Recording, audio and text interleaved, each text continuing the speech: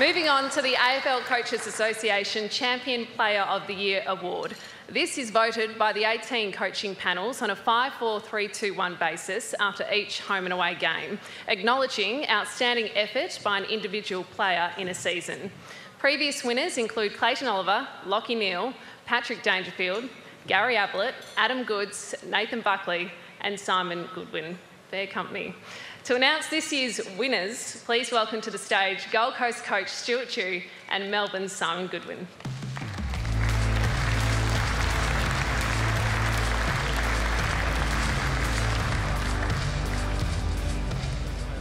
Thanks, Kath. It's great to be here.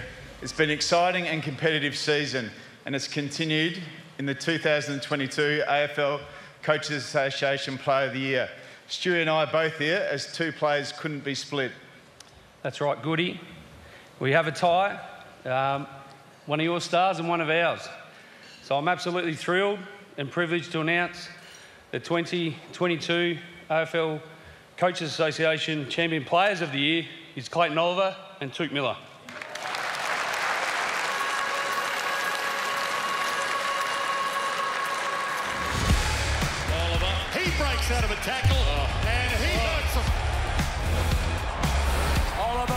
Oliver splits the middle of the Demons have got four. There's Touk. Can't keep a good man down for too long. And here comes Clayton Oliver. Miller takes it out of the middle. Oliver again. Oh, Miller, shutdown tackle. Magnificent. Duckley had his name set for that. Oliver was able to break it up. Miller should thread it through.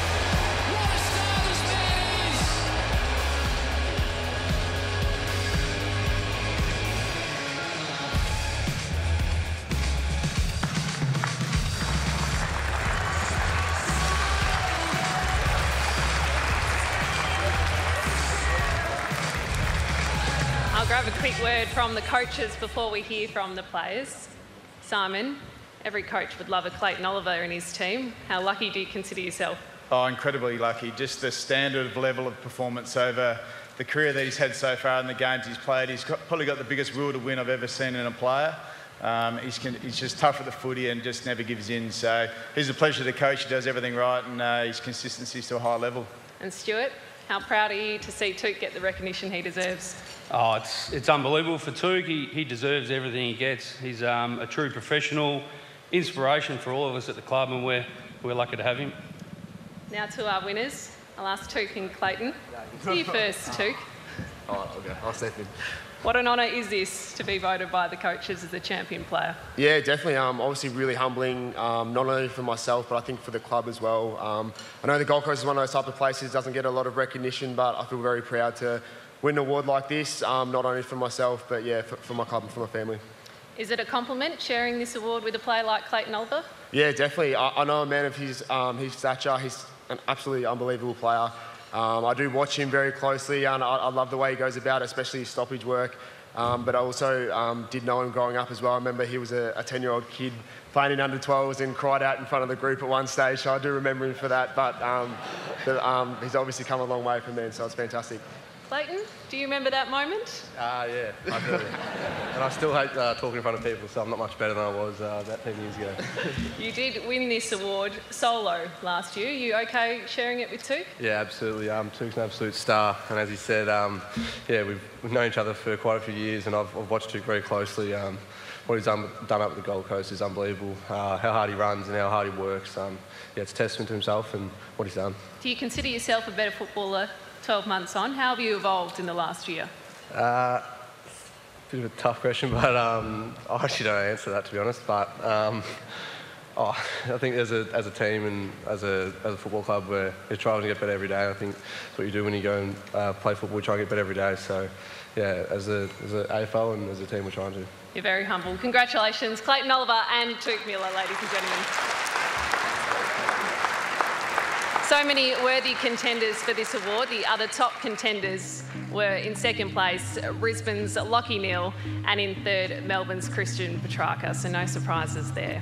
To announce this year's 2022 Therabody AFL All Australian team and All Australian umpires, we're thrilled to have AFL W star Emma Kearney with us this evening. She was the 2018 Best and Fairest winner and is the only player to be named an All Australian in every season of the AFLW's existence. She was also named captain of the 2022 AFLW All Australian team. Please welcome the skipper of North Melbourne, Emma Kearney.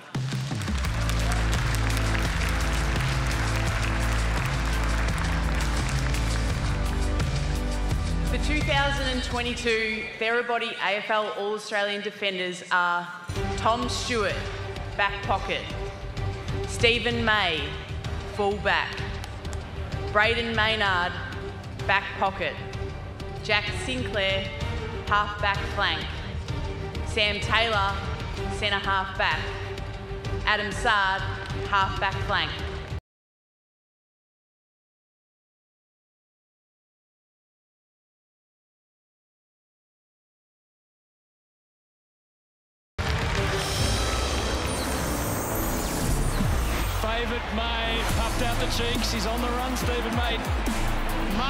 May front spot protected nicely. Cannon went too far in and May. He's a crowd favourite, Steven May. Goes to a two on one. May chops it off. Mays' tackles sort of just how they are.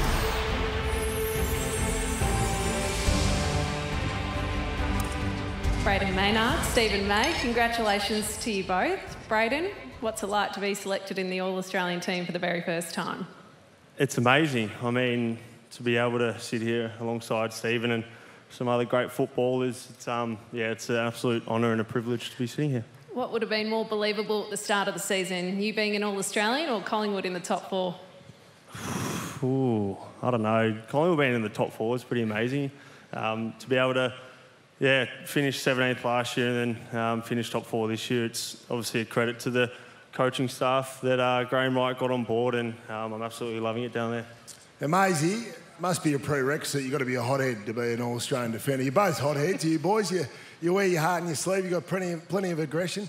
Yeah, certainly. Um, would love to go to battle with uh, Brayden. Um, he's a he's a fierce competitor, and I love watching him play. How's the year been for you, mate? Obviously, it's been difficult uh, backing up. It's always hard the next year after winning a premiership, and of course, you want to win a premiership back on your home ground. How's this season been compared to the last? Yeah, it's uh, it's been a lot more difficult to be honest. And you know, um, we went away in the summer, and 17 other teams dissected our game plan, and um, you know, every time we had a match, they they really wanted to knock us off being the premiers. So um, it's been quite hard, but. Um, it's been a different challenge, and we feel like we're starting to get our, our mojo back, and um, yeah, we're ready for the pointy end. Take us onto the field, Steven. How do you strike the balance between playing on opposition guns but also being a great interceptor yourself? Yeah, it's the, it's the, it's a tough job because the guys we're you know playing on that will be announced shortly They're the superstars of the league, and um, you got to respect them, but you also need to help the team defense and and try and have an influence with the ball in your hands. So. Um, you know, I, am lucky to play with like Harry Petty and Jake Lever who are able to help me in intercepting areas, but um, my number one job is to try and stop the, the big full forward. Now, Brayden, uh, my old teammate Craig McRae, your coach this year, he used to always wear a hat around that said minibus on it because he thought he was only half a coach. Clearly, he's, uh, he's proved that wrong this year, mate. He has. He's, um, yeah, for him to come in and do what he's done so far, it's, yeah, it's amazing to see um, what they've done and what they've brought to the club. It's, um, it's great to have different coaches from different clubs and um, a bit of a fresh start, so you like. And I've absolutely loved my time so far with, um, with having him as the head coach. Uh, the close finishes. So, is anything to do with luck or that's all planning? It's all planned, mate. We go to work every day and um, we are a lucky bunch, but we are playing some seriously good footy and I'm looking forward to finals. Good luck to you both in September. Ladies and gentlemen, a round of applause for our All Australian defenders. Amazing. Well, Brayden, good job. Well, it is now time to reveal the midfield of this year's Therabody AFL All Australian team.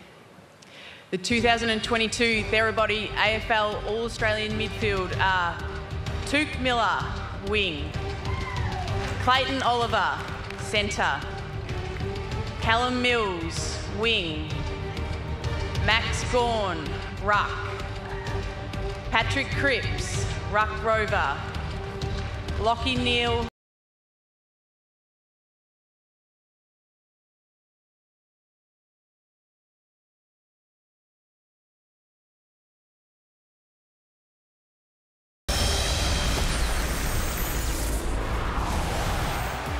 beaten to it by Oliver. That is so exciting to watch. Oliver's hot as a pistol. Towards half forward, Oliver creeps inside 50, marks. Oliver splits the middle. Lays on a bit of an arc. It's got to come back from left to right, and it does. Statement made. But straight to Big Max. Max clean possession. He's got another one. Too good. Petracca feeds a handball inside to Brown, to Gawn, to goal. Bang!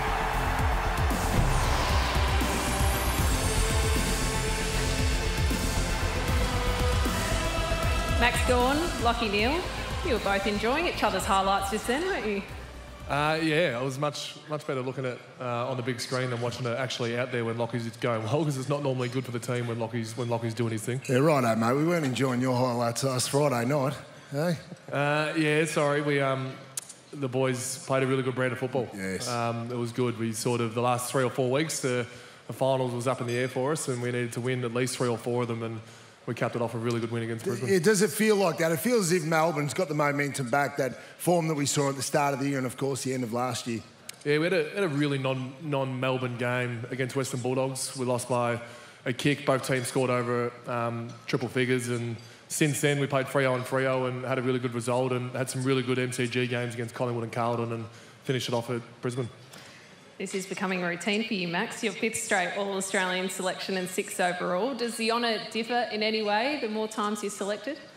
Uh, I mean, it might when I look back on it a little bit later on in my career. Um, this one, I really do appreciate it because I've I've sort of given Luke a fair bit of time in the ruck, and um, I'm still getting my time in the ruck. But when I'm there, I'm making sure I perform, and um, it's still really high on my checklist when I go out and play that I have to perform when I'm in the ruck, and um, yeah, to get the award again um, is a pleasure. Yeah.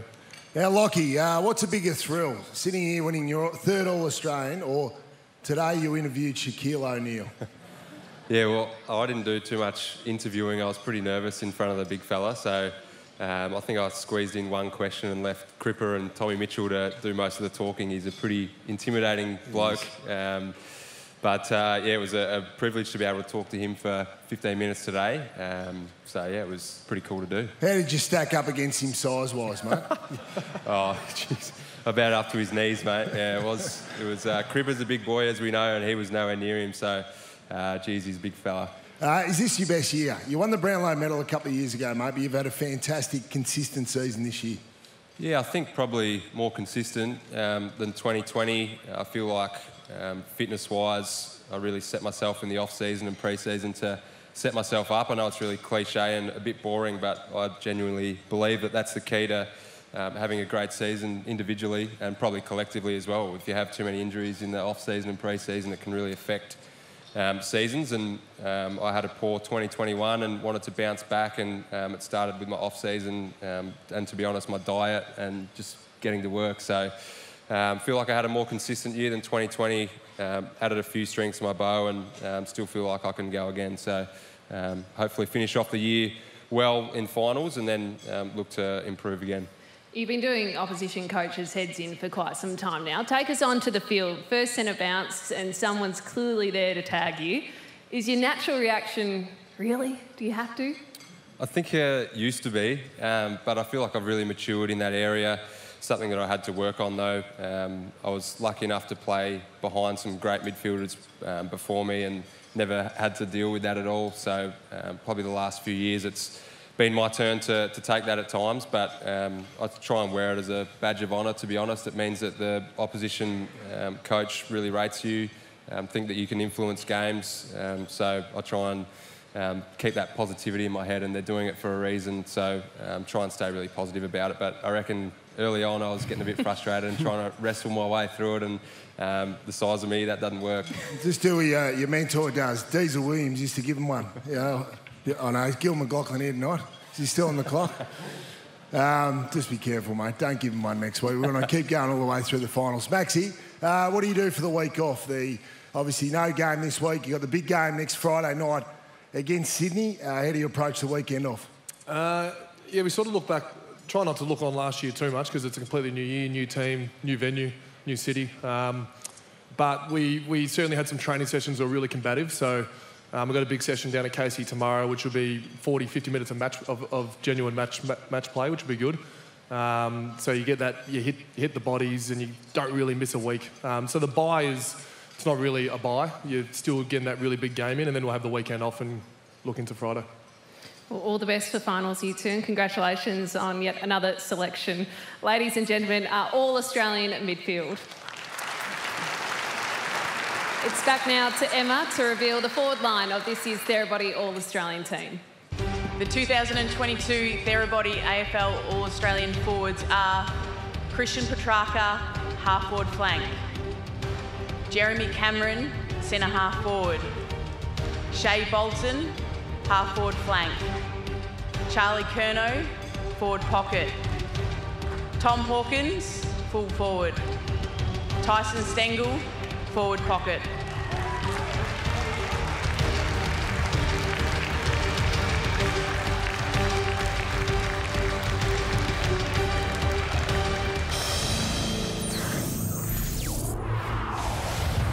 Petracca, bust through. On the run, Petracca from 50. Bang! Petracca over the top, just floats through the air. Christian Petracca.